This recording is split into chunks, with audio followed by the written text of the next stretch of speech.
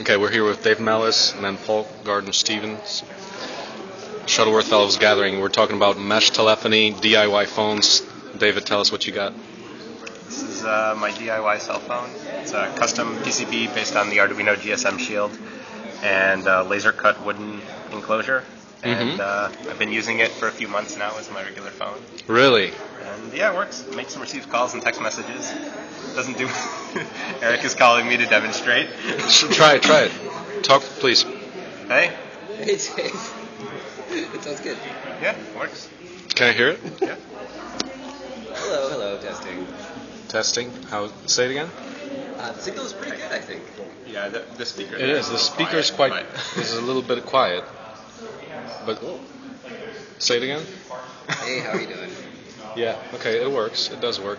And it's just regular, like going through the same system. Yeah, I'm on T-Mobile right now. Okay. Just regular Huh. SIM card. Yeah.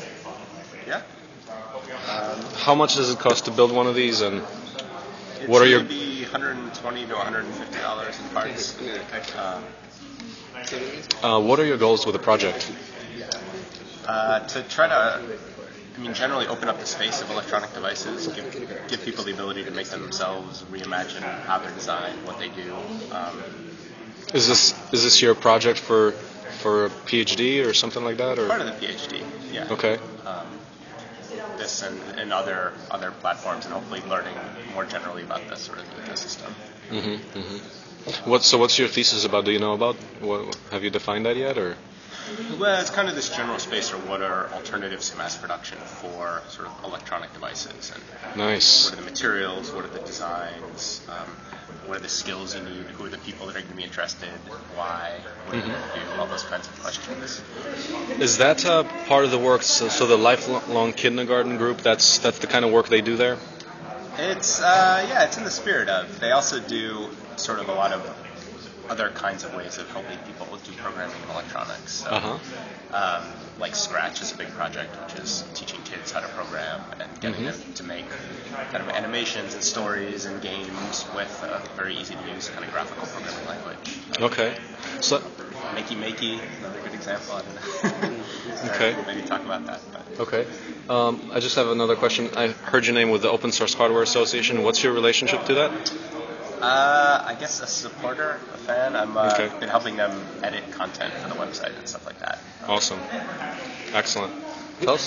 He's one of the, the like, the main Arduino guys. He's humble about it, I don't think he said that. You're one of the developers of Arduino. Yeah, I'm part of the team.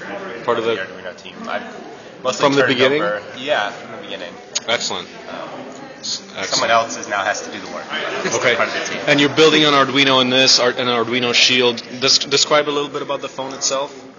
It's um, yeah. There's a there's the M10 module from Quectel, which is the same module that's on the Arduino Mm-hmm. on the Arduino Shield, and then there's a Atmega 1284 in this case. Um, and yeah, button screen, antenna, charging circuit,